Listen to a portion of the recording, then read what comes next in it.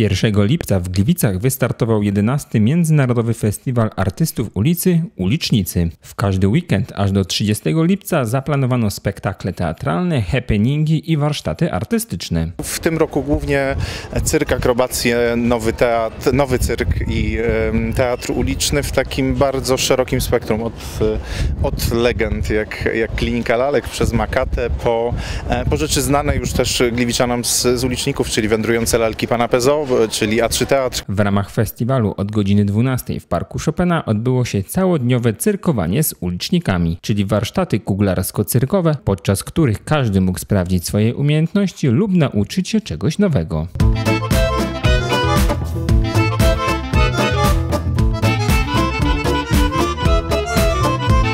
O godzinie 16 A3 Teatr zaprosił najmłodszych i nie tylko na spektakl dla dzieci Punch i Judy, w którym najzwyklejsze codzienne sytuacje zostały przedstawione w śmieszny i pełen ironii sposób. A o godzinie 18 na Gliwickim Rynku odbył się spektakl Teatru Klinika Lalek Cyrk bez przemocy, którego artyści jako jedni z pierwszych na świecie połączyli sztukę lalkarską z magią cyrku, w którym role zwierząt zagrały naturalnej wielkości marionetki.